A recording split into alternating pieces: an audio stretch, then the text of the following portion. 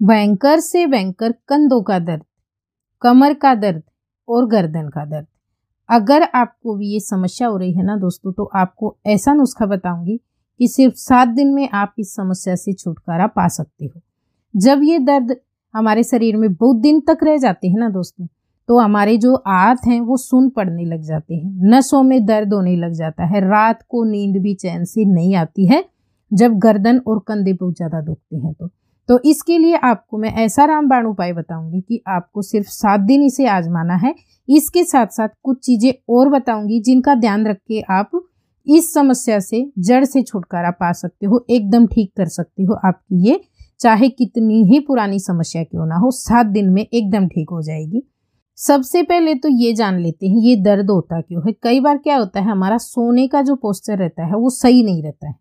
कई बार क्या होता है, हम जैसे वज़न वगैरह ज़्यादा उठा लेते हैं या ज़्यादा काम करने से आपकी नसों पे लोड आ जाता है तो उसकी वजह से भी हो जाता है। और कई बार ये आपके शरीर में जब विटामिन की कमियाँ हो जाती है ना तो भी आपको ये हो जाता है दोस्तों। तो आज हम जो उपाय बता रहे हैं, इसको हम इस तरीके से बनाएँगे कि आपकी विटामिन की भी पूर्ति होगी और साथ ही साथ आपको जो नसें वगैरह टाइट हो गई हैं, वज़न के कारण वर्कलोड के कारण या किसी भी कारण से तो उसमें भी आपको फ़ायदा मिलेगा। तो इसको आप वीडियो को पूरा देखना जिससे कि मैं जो चीज़ें बताऊँगी वो सही से आप जान पाए। तो सबसे पहले आपने देखा हमारे पास यहाँ पे बादाम है, किशमिश है और साथ में हमने कुछ अखरोट लिए हैं दोस्तों। तो आपको भी इस नुस्खे को इसी तरीके से इन्हीं चीज़ों के साथ में बताए गए तरीके से आजमाना है। इसमें मैं आपको बताऊँगी इसकी कितनी मात्रा आपको लेनी है, किस तरीके से इसको बनाकर तैयार करना है और कितने दिन के लिए आप इसे एक बार में बनाकर तैयार कर सकते हो। तो आप वीडियो को बिना स्किप किए लगातार देखना। तो हमने यहाँ पे जैसे चीज़ें लेनी है, बादाम, किशमिश और अखरोट। इनका वज़न रहेगा सभी का पचास पचास ग्राम। पचास ग्राम किशमिश ले ले, पचास ग्राम बादाम ले ले और पचास ग्राम ही आपको अखरोट लेने हैं। अभी मैं आपको ये कम बनाकर दिखा रही हूँ, आपको लेकिन एक बार में पचास पचास ग्राम सारी चीज़ें लेनी है। नुस्खा तैयार करने से पहले जो भी चीज़ें हमने ली है जैसे किशमिश है, इसको धोना ज़रूरी होता है। साथ में जो हम साबुत अखरोट लेकर आते हैं, अखरोट आपको इसमें साबुत ही लाने हैं दोस्तों। सौ ग्राम ले आए तो पचास ग्राम ग्री आपको मिल जाएगी इसकी। इसमें क्या होता है, इसका जो ऑयल होता है ना, वो भरपूर होता है, सूखता नहीं है। अगर आप साबुत अखरोट लेकर आते हो तो गिरी लेकर आएँगे तो काफ़ी दिनों से निकली हुई रहती है अखरोट से, उनकी गिरिया सूख जाती है। इसलिए ये बात आप ध्यान रखना, जब भी आप अखरोट लेकर आएँगे ना खरीद कर आपको साबुत लाने हैं। तो सबसे पहले हम क्या करेंगे? सारी चीज़ों को धो कर लेंगे। इसमें, इस नुस्खे में ऐसा नहीं है कि पानी लगेगा तो चीज़ें खराब हो जाएँगी। नहीं, इसमें हमें पानी की ज़रूरत है।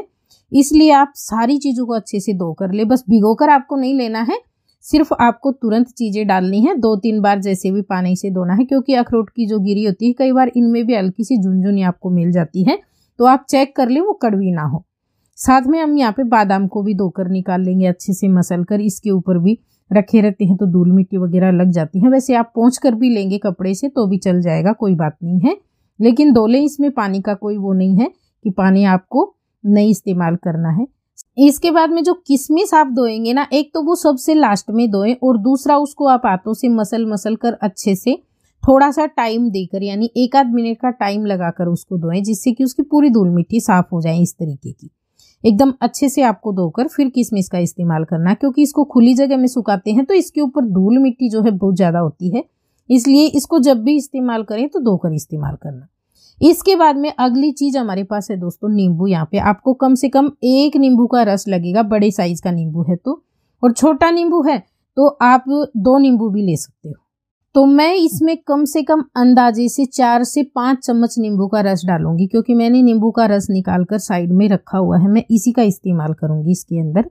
आप अगर डायरेक्ट नींबू का रस डाल रहे हैं तो एक बड़ा नींबू या फिर दो छोटे नींबू, इस तरीके से आप कम से कम चार पाँच चम्मच जो है नींबू का रस होना चाहिए, इसके अंदर ऐड कर लें। इस तरीके से मैं आपको यहाँ पे दिखा रही हूँ। लेकिन ये आपको ज़रूर डालना है। ये क्या है? एक तो आपके जो नुस्खा है, उसको और हेल्दी बनाएगा और दूसरा इस नुस्खे को ख़राब होने से भी ये बचाता है। इसमें किसी भी तरह की खराबी नहीं आती है। इस तरीके से आप बनाएँगे तो। तो यहाँ पे मैंने नींबू का रस डाल लिया है। अब जो ये नींबू है, इसको आप हटा देंगे। इसका इस्तेमाल अभी हमें नहीं करना है। अब इसमें नींबू का रस तो हमने डाल लिया। अगली चीज़ इसमें और क्या डालनी है आपको? जैसे आपने नींबू का रस डाला ना चार पाँच चम्मच, इसी तरीके से इसके अंदर आप सादा नॉर्मल टेम्परेचर का पानी भी डाल लें, चार से पाँच चम्मच। एक बात ध्यान रखना, इसमें आपको ज़्यादा पानी नहीं डालना है, या तो फिर आप क्या कर सकते हो, जब आप इसे इस तरीके से जैसे हम अभी ग्राइंडर जार में डालकर इसका पेस्ट बनाएँगे तो आप साथ साथ भी थोड़ा थोड़ा करके डाल सकते हो, अगर आप अंदाज़ा नहीं ले पा रहे हैं यहाँ पे तो। लेकिन एक साथ ज़्यादा इसमें नहीं डालना है। अब इसके अंदर हमें एक चीज़ और ऐड करनी है, जो है शहद दोस्तों। शहद आपको कम से कम एक से दो चम्मच ही डालना है। बहुत ज़्यादा शहद का इसके अंदर इस्तेमाल नहीं करना है।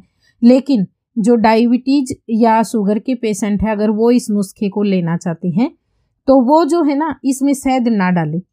शहद हटा सकते हैं, अगर आपको मीठा नहीं लेना है तो। आप स्किप कर दें। इस तरीके से आप बिना शहद के और बाकी चीज़ों के साथ में ले सकते हैं। तो इस तरीके से आपको ये पीस लेना है। जितना हो सके ना, उतना बारीक कर ले आप और हल्के फुल्के टुकड़े भी इसके अंदर रह जाते हैं।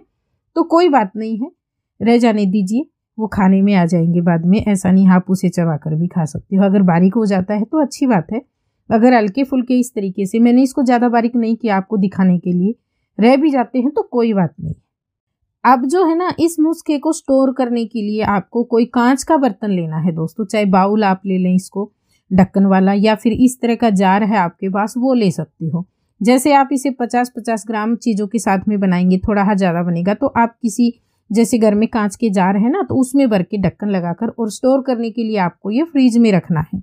अब ये खाना किस तरीके से, वो भी बताऊँगी आपको, लेकिन जिनको शोल्डर में या गर्दन में बहुत ज़्यादा दर्द है ना दोस्तों, उनको एक काम ज़रूर करना है रोज़ाना। एक तो गरम सिकाई करनी है और दूसरा आप सरसों का तेल ले ले, गरम कर ले, जैतून का तेल है तो वो ले ले। उसको आप हल्का सा पानी में रख के गरम कर लें डबल बॉयलर से।